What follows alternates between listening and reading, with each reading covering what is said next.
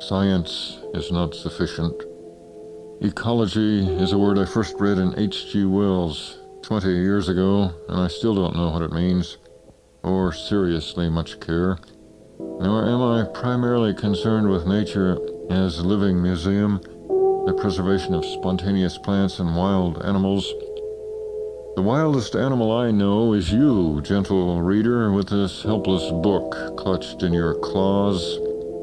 No, there are better reasons for keeping the wild wild, the wilderness open, the trees up and the rivers free, and the canyons uncluttered with dams.